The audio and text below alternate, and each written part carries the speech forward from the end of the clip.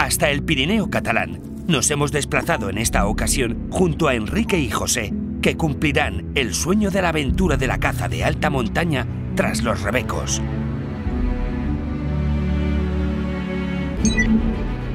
Jueves 26, a las 20.30. Cumpliendo un sueño.